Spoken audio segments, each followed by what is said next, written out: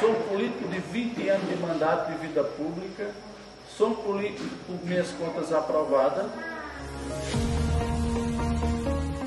Precisamos conquistar voto por voto para Paulo César e também para o nosso futuro prefeito Marcos Freitas.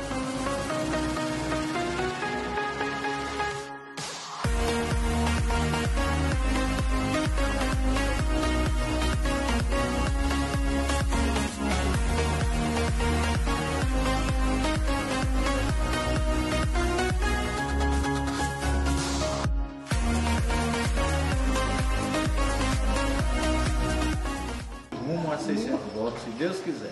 Um abraço, muito obrigado.